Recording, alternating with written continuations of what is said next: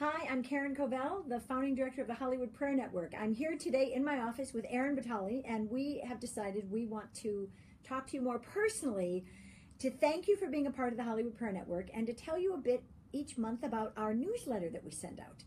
We just sent out our April newsletter um, last week, and I thought I'd highlight some of the points in it.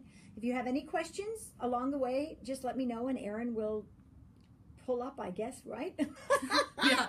However, this works. I will read them to you. okay, she'll read them to me. Okay, good. So, every month, around the 15th of the month, we send a newsletter out to encourage Christians to pray for the people, the projects, and the issues in Hollywood.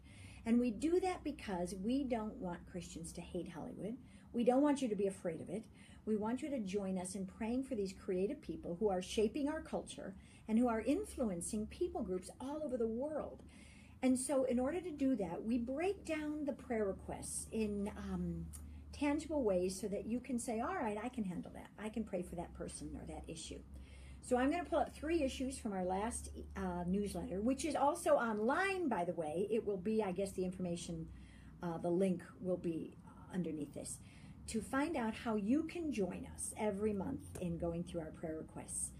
So, the first thing I want to point out from April is that we put in a prayer request about Snoop Dogg and how he has just come out with a gospel album.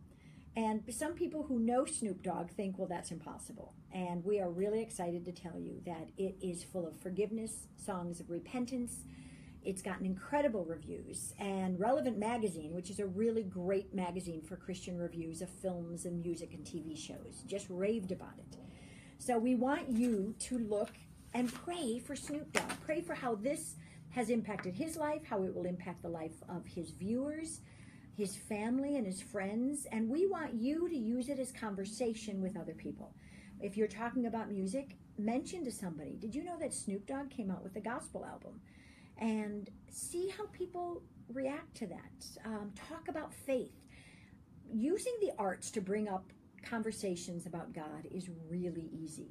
And this is one of the ways to do it.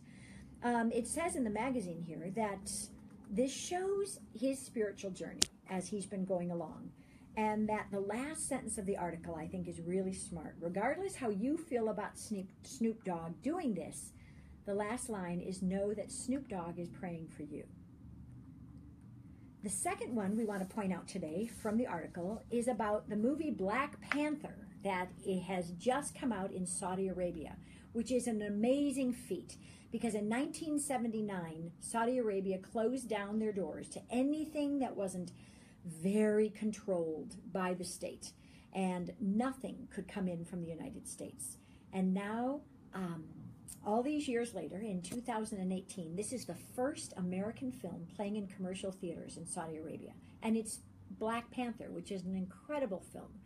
We put in articles in our past newsletters about how uh, it was like church on the set of Black Panther. And now you can read about the impact that this movie can make in this country that's been closed off for decades. So pray about how the audience will respond to this movie. Pray for the filmmakers that they can see that the message that they have in this film um, people are hungry for. Pray that this brings more racial reconciliation because it's such a fabulous film and it's very unique in being almost an entirely black cast.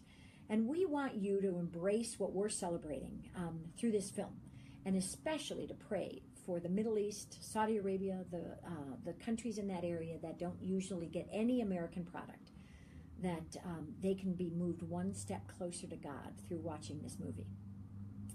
And the third one we're going to bring up is a really cool thing. In fact, I had a phone conversation this morning with a pastor called DJ Soto. And DJ has started a virtual reality church. He has set it up on, I believe it's called the AltSpace VR platform. And while people are going on this platform to look at different VR movies or shorts, it actually comes up as church. And you can go to church in the VR world. Uh, DJ Soto and his wife Carrie are visionaries. There, he's a young pastor, and he had a heart to reach the people who wouldn't go into a church. And what he and Carrie have found out is that on, on alt space, there are so many non believers that are looking through the VR world and saying, Church, let me find out about that. He has sermons They're doing a, my favorite thing, a virtual reality baptisms. They're starting, and they are giving people access to God who wouldn't ever find it any other way. They don't want to be preached to. They don't want to go into a church.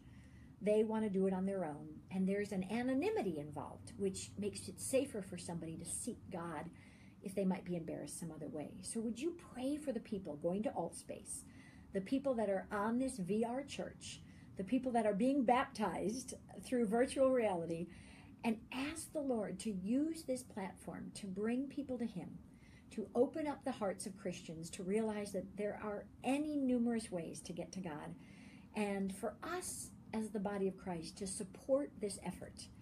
You know, when cameras first came into the to the sanctuaries decades ago, it was a horrible mess with a lot of Christians saying, "How dare you bring a camera into the church?" Well, now that's totally accepted and expected. And now a new thing is church VR. So let's not do the same thing and say, "Oh no, how could they do that?" Let's embrace it. Let's pray for the people involved. And let's ask the Lord to use this as another way to bring people to him. So, those are three ways for you to be able to pray with us. We have about 12 other prayer requests this month. Every month, we come up with more prayer requests that are really pertinent to our industry, to our culture, and we believe to the world. We look at Hollywood as the world's uh, most influential mission field and hope that you can join us in that. So, if you have any questions, come on. If not, um, check us online and we will reach out to you and connect you with what we're doing. And we're going to uh, continue doing these live videos for each month for the newsletter, hopefully more than once a month with the rest of the prayer requests. Um, so, yeah, feel free to comment and let us know what, uh, if you want more prayer tips from Karen and which topics you want to hear from her about. Um, that's it. Bye. Bye.